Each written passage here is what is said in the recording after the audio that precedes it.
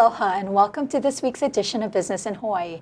I'm Dailyn Yanagida and we're broadcasting live from the ThinkTech studios in downtown Honolulu. If you want to tune in live, we are at www.thinktechhawaii.com and you may also subscribe to our programs and get on our mailing list at that site as well. The theme of Business in Hawaii is to share with you stories of local businesses by local people.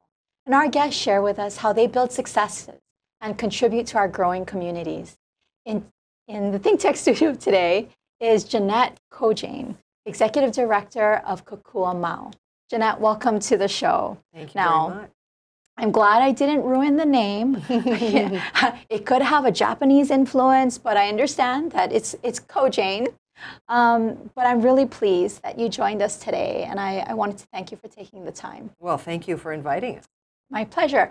I want to start our segment by um, sharing with the audience a little bit about yourself. Who are you?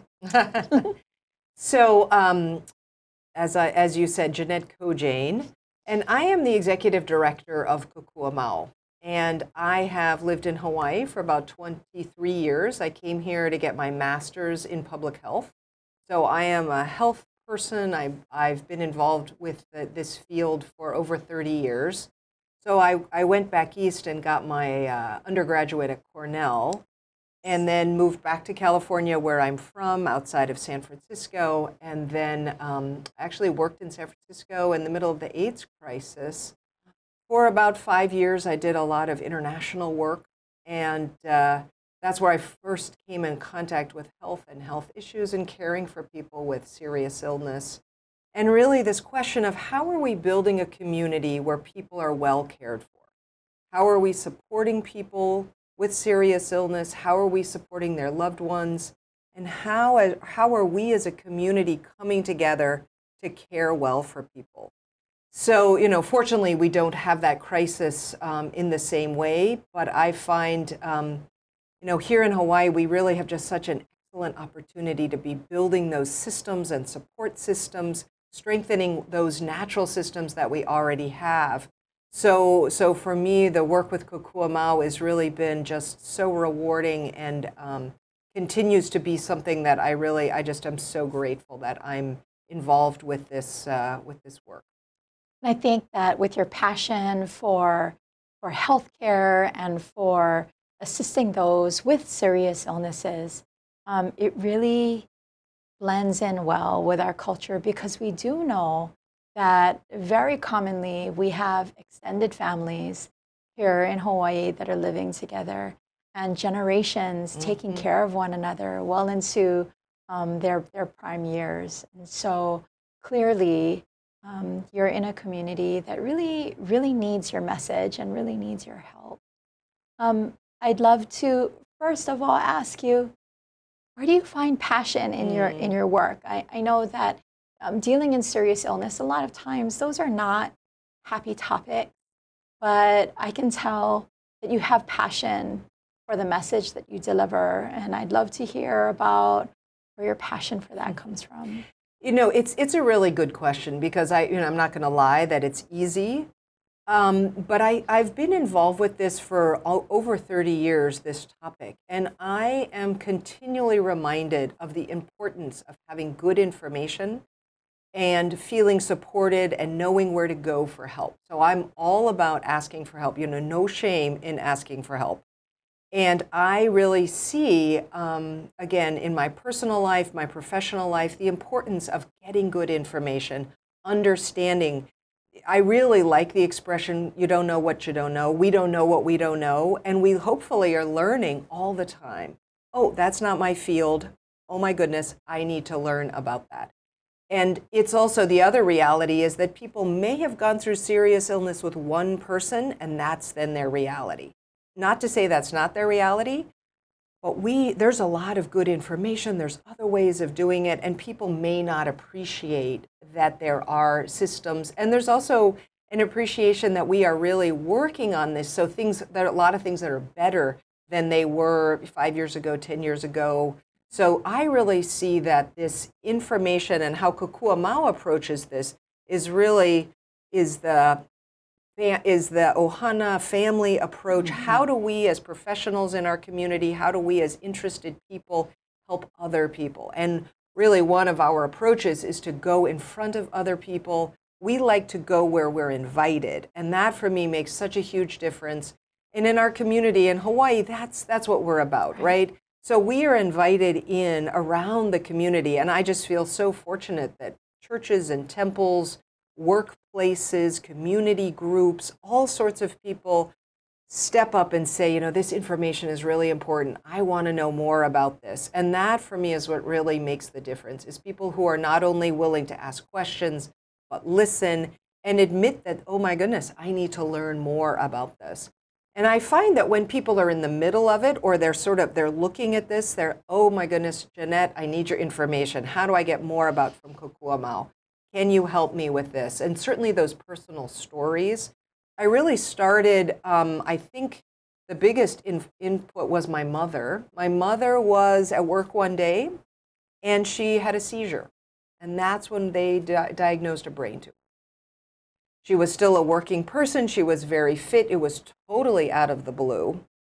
And fortunately, she worked for Stanford University, super bent. They were very, very supportive of her, of our family but I was so involved with how are we caring for her? How are we caring for her? How is she getting the best care possible? How is she having quality of life throughout her life? How are we supporting my dad? Can't even boil water, right? How are we figuring out whether or not we have the best care for her?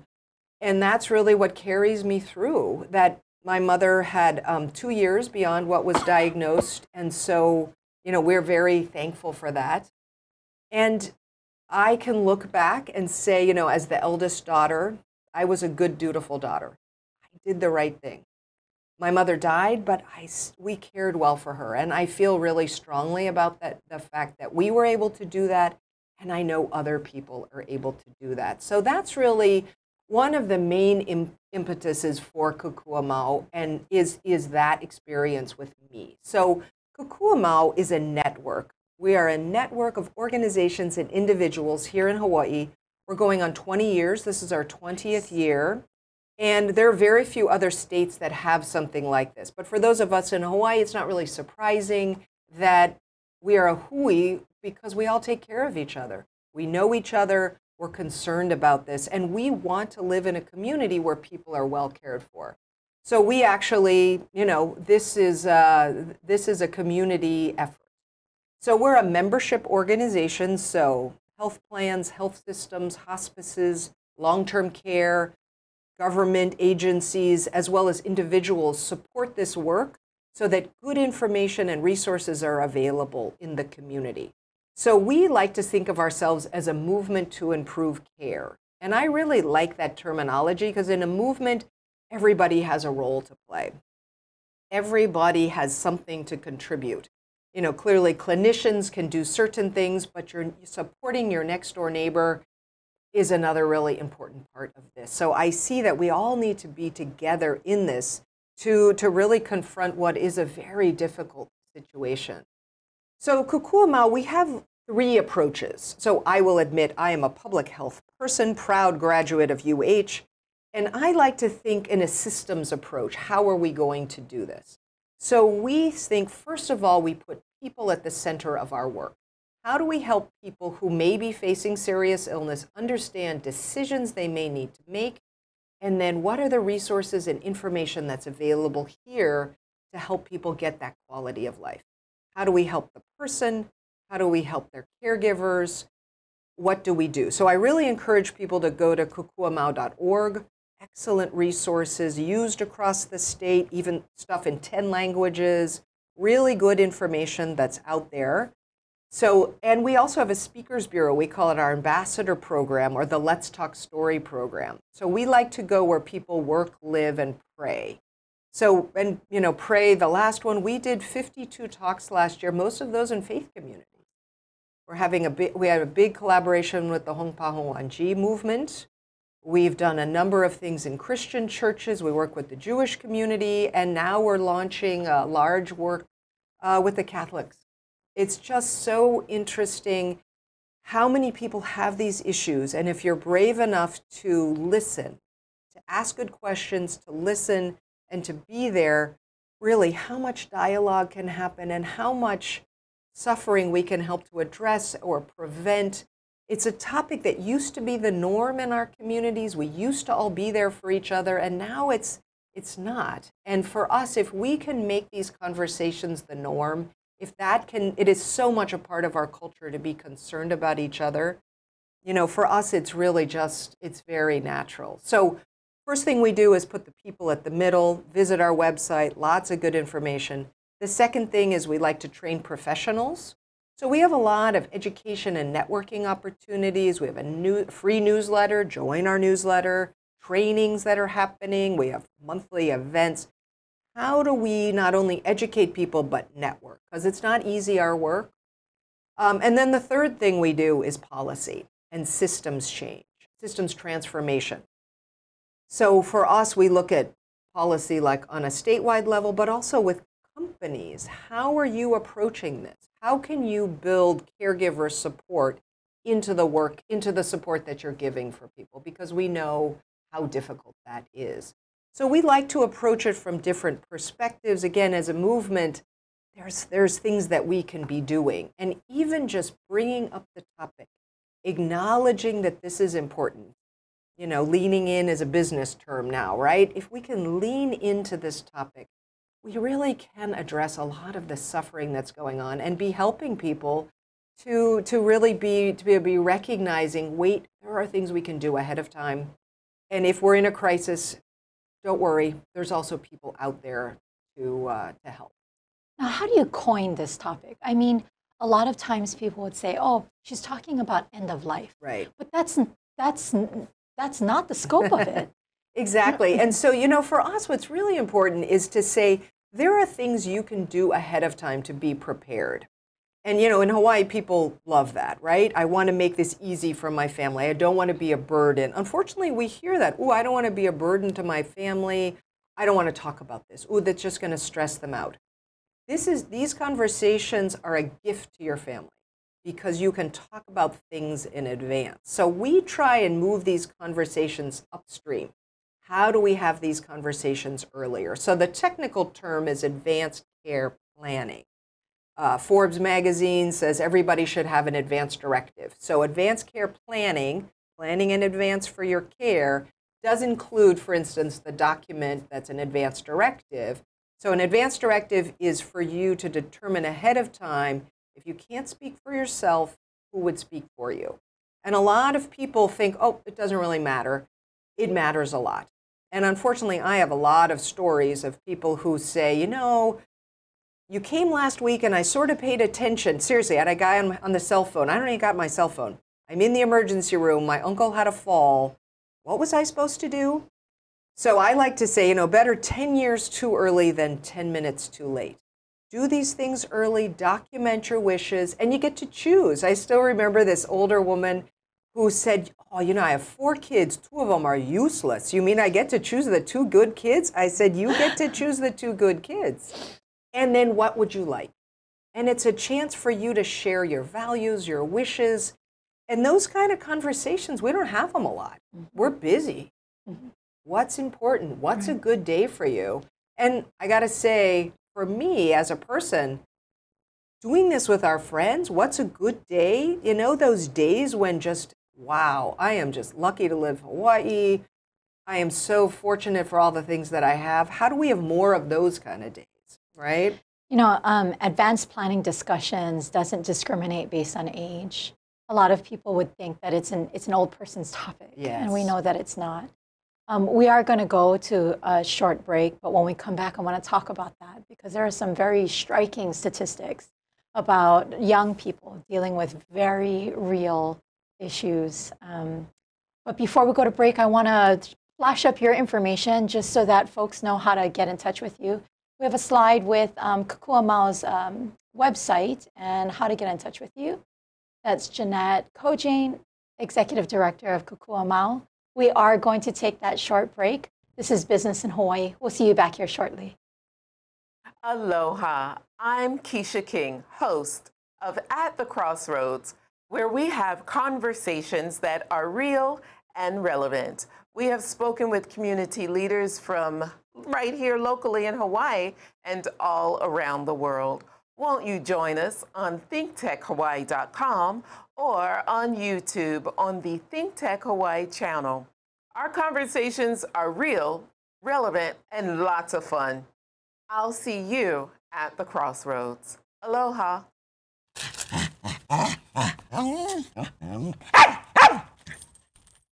Aloha, I'm Winston Welch, host of Out and About. It's a show that we have every other Monday on ThinkTech Live here.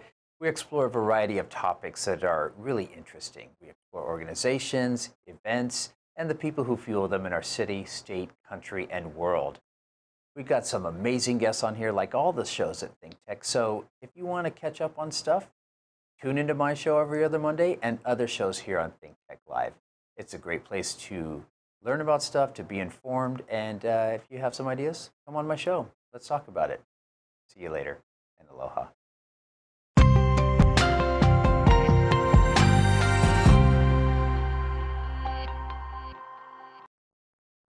Welcome back. This is Business in Hawaii. Jeanette Koijane, Director of Executive Director of Kokua Kukuamau, is with us in the studio today. And Jeanette, when we left to break, we were talking about advanced care planning and how it's not a conversation that's reserved for just aging people, but really it's a conversation, a planning, an experience that should be had by people of all ages. Um, and I know that there are some striking statistics about young people, employees who are caregivers while they're working full time. And I'd love for you to talk to that. Yep. So for us, we actually have seen that I mentioned before that we've been doing talks out in the community, and we like the phrase where people work, live, and pray. And we've really seen, you know, caregivers, eh, people may not even identify as being caregivers because it's what they do. They care for their spouse, they're caring for their grandparents, they care for their in laws, they're taking Uncle Chemo to the doctor twice a month, they stop by every weekend, make sure that he's fed these caregivers are just such a crucial part of our community. And, you know, most people are still going to work. And where would they get information? And I have so many people who, you know, as you say, the sandwich generation, right? Drop the kids at school, drop mom at daycare, go to, go to work, then reverse, go pick them up, take everybody home, make dinner, take care of mom, fall into bed, and repeat. Like, where would they get information? So we that's again why we like to go out. And I think you know it's absolutely right that caregivers have a tremendous burden and uh, these are integral parts of our community and for people who you know employees we employers know this although they may not know it. It's really good to to ask. So we see that the people are spending they estimate at least 20 hours a week on caregiving. About they estimate nationally that 20% of people are caregivers and i actually think that's pretty low for hawaii. Because we're also we take we you know we have a ohana system. People are there they're helping each other out. It, it is a big it's a big burden. And then the cost is tremendous especially when you don't have things in place right so you know people estimate $7000 a year quite frankly frankly for hawaii that's low that is low. How are you going to, to make all of this happen? So we see for employers, and that's why we really started this work site wellness program, that you have several things. The employees are totally stressed out. They may be retiring early, they may be quitting, they may be at their desk but not able to function. Either they're trying to solve a problem or just the stress of this um, you know, it's really, it's big. One statistic that I find shocking, in Hawaii, people who are caring for someone with dementia, 50% of those people end up in the emergency room for themselves. It's we have a, a one sheet burden. of your statistics yeah. that I would love to share. Um, if we could put that up. You know, and this is really important. It, sometimes people say, oh, it's just a women's issue. Well, first of all, women are people. But men and women do this together. There are a lot of men and women who are doing this. This is everybody is impacted by this. And I find it so interesting that, you know, they estimate how many millennials are doing this, whether again it's for their grandparents or for somebody else. So they may be going online, but how do you get good information? How do you make sure that they've gotten good information? And coming from myself, coming from the human resources industry, um, we do know that there's a huge problem with presenteeism, that we have employees that are, are working for us, but are we really getting Mm-hmm. the best work out of them? Because they have these competing priorities. You said 20 hours a week. Well, that means that Yeah. they're working a full time job and a half, Yeah. and which means that I'm not really getting 100% of them. Right. Right. We also know that because employees spend so much time at work, that they rely on their employers for the best information. mm-hmm. For example, we talk to employees about planning for retirement. Mm-hmm. We talk to employees about training and development, Yep. um, higher education, Yep. right? And that's where they're getting their information. So it just makes sense Yep. that you would come into a wellness market as well to Right. start talking about these planning events that need to happen. They're crucial to people's lives. That's right. And so that's why we really hope that people will contact us because we're ready to work with you to make a tailor-made program, something that works for you. You know, and you're you're right. For me, it's often it, it, it is sort of a it's strange. Why is it not a part of what we're doing? So we need to acknowledge that it's not easy. People may not know how to have these conversations. Good news, Kokua Mau is here. And mm-hmm. I really hope people will see us as a resource. For us, we have a lot of experience. This is our expertise. This is what we do. We know how to get conversations going, to start conversations, and to foster these, these discussions. So for employers who are thinking, oh my goodness, where do I start?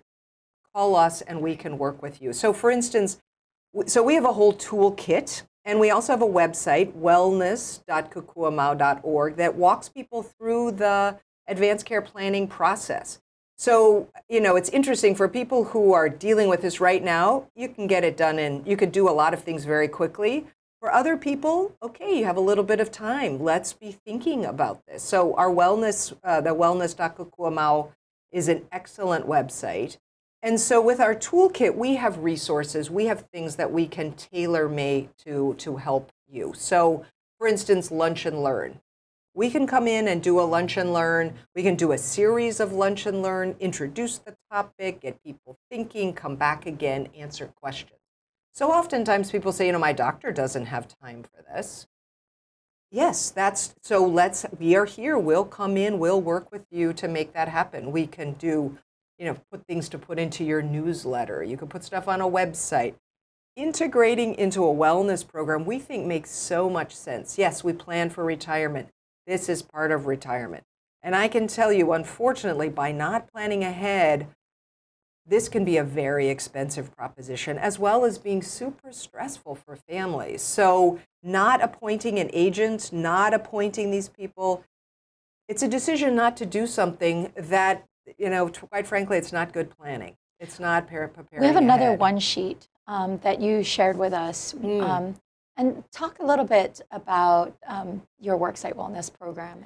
So this is, these are just some examples, for instance. So you know, we again, there are things that you can do. You can create policies.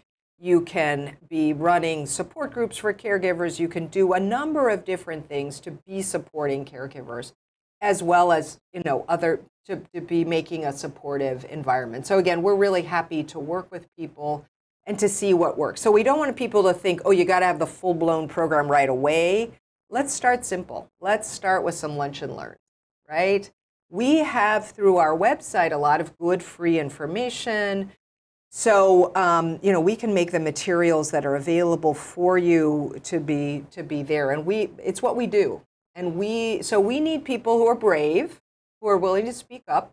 I'll be honest with you, people that have gone through it themselves understand what this is. And for those organizations who are really leaders in this, like UHA, EUTF, we've worked a lot with them last year.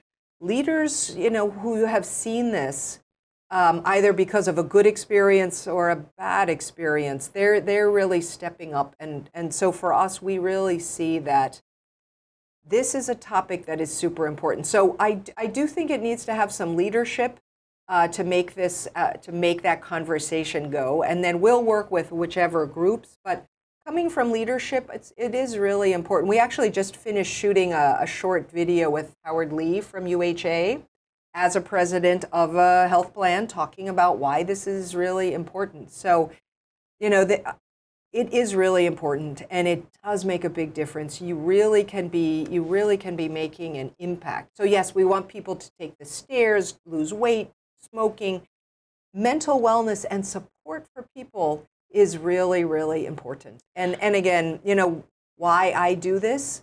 I do this because I see over and over again. I had somebody last week who said, you know, I went to your talk at church. My mom came, I invited her to come. We had those conversations. And for the first time since my dad died, we were able to have those conversations. We were able to document better what she wants, we really feel now that we have a good grasp on it, and now she's bringing it up where she never would before. It's, I mean, talk about a stress reduction with tears in his eyes. He's telling me this. So this is, you know, we, you have to be brave, but we just see the results. Really powerful. From an employee benefits perspective, you know, one of the things as an employer we always look at are managing our medical utilization because it you know, oh, translates yeah. to cost. And I think that a lot of people don't understand that these critical illnesses, um, these events, cost a lot of money. Yes. yes. But if you already have in mind how you want that medical event to be mm. handled, you essentially, on the back end, are able to manage that risk in mm-hmm. a way by saying, hey, this person doesn't want extraordinary measures mm-hmm. taken, but rather they just want to be comfortable, which of course will cut down time in an emergency room, in ICU, which also translates to cost savings. Yeah. If that's a perspective for business leaders to, to look at as well right. in managing risk. You know, and the cost is really an issue uh, that definitely comes up. I'm always so reassured by businesses who say, you know, what we need is for people to have good care. That's what I want. And we, you know, like the phrase, the right care at the right mm-hmm. time in the right place. Well, that can happen with conversations. But if you're avoiding unnecessary and unwanted treatment, yes, you will be saving money and you know for the caregivers too if the caregivers are being supported if they're if they're being supported along the way you're also saving costs so i again i'm reassured when businesses don't start with the money but i'm often thinking wow you know you you do appreciate Absolutely. that good care and and preventing crisis preventing this stress supporting the people people where they are that is that is going to save the money. You know, Jeanette, I knew we could go on yeah, and on and on could. about the topic. Unfortunately, we, we have run out of time. I do want to make sure that our viewers are able to see your information one, one last time. Um, your website, wellness.kokuamau.org for those um, worksite wellness programs, your contact information, your, your telephone number, and um, really encouraging folks to, to reach out. I wanted to Thank you for your time. Important message, very important message um, for all of us. Um, we are out of time, but thank you to our guest Jeanette for joining us. Huge thank you to the amazing production staff in the studio. If you would like to be a guest on our show, please email your information to shows at thinktechhawaii.com. Business in Hawaii airs every Thursday at 2 p.m., and we are looking forward to seeing you here next week.